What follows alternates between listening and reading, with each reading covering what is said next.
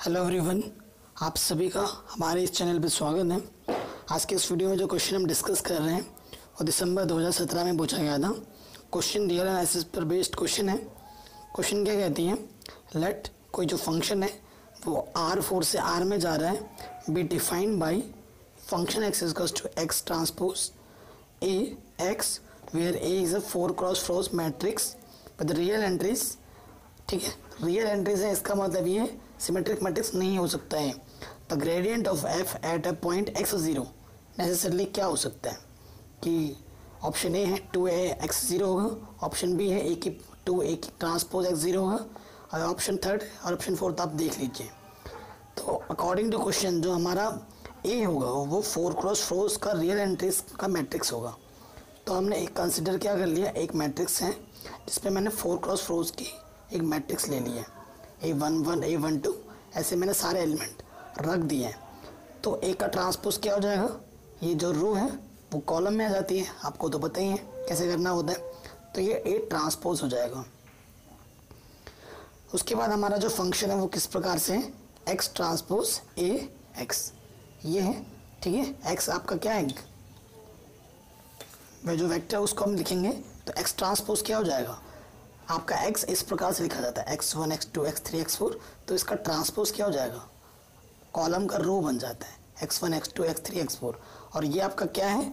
ये आपका है A A one one A one two मैंने वो आपका ये ए रख दिया है अकॉर्डिंग टू फ़ंक्शन अब इसमें हमें एक रूल लगाना होता है, जैसा हम चलाते हैं क्वाड्रेटिक फॉर्म में, वैसा हमें यहाँ ऑपरेट करके इसे एक्सपेंड करना होता है।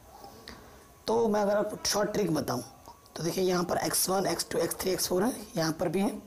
तो पता है क्या आएगा? यहाँ देखिए a one one one one के साथ आ जाएगा एक्स वन का square plus a two two है। तो ए टू टू के साथ एक्स टू का स्क्वायर ए थ्री थ्री है। ए थ्री थ्री के साथ एक्स थ्री का square plus a four four है। तो ए फोर के साथ एक्स फोर का स्क्वायर प्लस फिर क्या कीजिए ये सारे एलिमेंट आ चुके हैं डायगोनल के।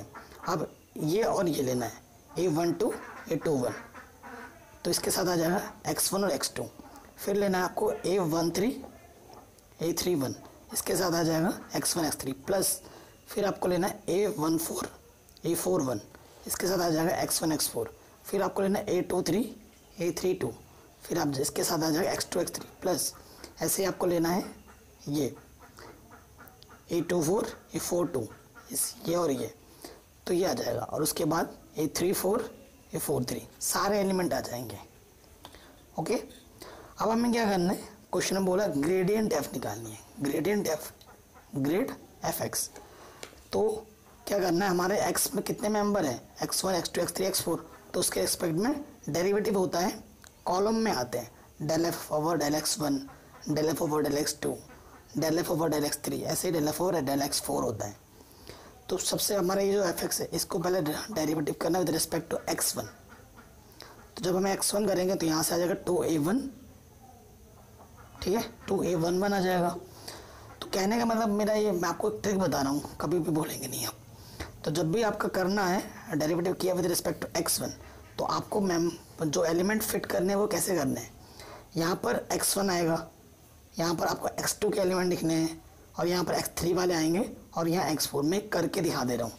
देखिए, सबसे पहले हमने एक्स वन के छापे जब करेंगे तो टू ए वन वन आएगा ये ज़ीरो हो जाएगा। ये ज़ीरो हो जाएगा, ये ज़ीरो हो जाएगा। यहाँ से जब करेंगे एक्स वन तो सिर्फ़ a one two plus a two one x two बचेगा। तो ये दूसरे में आ जाएगा। ऐसे ही एक्स वन का टर्म ढूंढिए, यहाँ थ्री में। तो a one three plus a three one x three आ जाएगा। फिर वन का ढूंढिए, ये आएगा। A one four plus a four one x four में आ जाएगा। ठीक है? ऐसे ही आप किसके सापेक्ष करना है? एक्स टू के लिए करना है। तो एक्स वन ये आ जाएगा। एक्स एक्स थ्री के लिए आ जाएगा। ऐसे ये एक्स फोर के लिए भी आ जाएगा।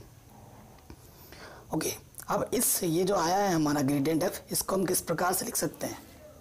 इसको हम लिख सकते हैं इस प्रकार से। It can be written as कि हम क्या ले रहे हैं? मैट्रिक्स फॉर्म बना कर लिख रहे हैं कि x one x two x three ये बाहर आ गए। और अंदर सिर्फ़ क्या बचे? कोफिशियंट बचे। और ज़रा आप ध्यान से देखिए, ये जो टू ए वन वन है, जो अभी हमने निकाला था टू ए वन वन कब आएगा? जब ए और ए ट्रांसपोज के एलिमेंट को जोड़ेंगे तो टू ए वन वन आएगा। A one two a two one कब आएगा जब इसको इसको ऐड कर रहे हैं। ओके तो यानी कि इससे हमें क्या पता चल रहा है कि ये क्या है? ए और ए ए का ट्रांसपोज का सम है। तो वो मैंने यहाँ लिख दिया है। और ये क्या है आपका? एक्स है। ये लिख दिया तो एक्स अंदर मल्टीप्लाई कर दीजिए तो ये ग्रेडियंट एफ़ एक्स आ जाएगा आपका। लेकिन हमें किस पॉइंट पे फाइंड करना है? हमें एक्स ज़ीरो पॉइंट पे फाइंड करना है। तो एक्स के प्लेस पे एक्स ज़ीरो रख देंगे तो आपका आंसर ये आ जाएगा। यानी कि ऑप्शन सेकंड आपका करेक्ट होगा। इस क्वेश्चन में सिर्फ़ एक ही ऑप्शन करेक्ट है। अगर इस क्वेश्चन में अगर बोल देता कि सिमेट्रिक मैट्रिक्स है, क्योंकि सिमेट्रिक मैट्रिक्स है तो सिर्फ़ और सिर्फ़ यही ऑप्शन करेक्ट है। अगर सिमेट्रिक मैट्रिक्स बोलता तो आपके ऑप्शन वन और थर्ड भी क्या होते हैं? और सॉरी वन और सेकंड भी करेक्ट होते हैं। क्योंकि सिमेट्रिक मैट्रिक्स में ए और ए का ट्रांसपोज आपस में इक्वल होते हैं और वो प्रॉपर्टी हम रखते हैं। तो ऑप्शन फ़र्स्ट और थर्ड भी करेक्ट हो जाते हैं। लेकिन यहाँ पर सिर्फ़ कौन सा करेक्ट होगा? Option number second I hope ये वीडियो आपको समझ में ज़रूर आई होगी। अगर ऐसा है तो वीडियो को लाइक शेयर करें चैनल को सब्सक्राइब करें।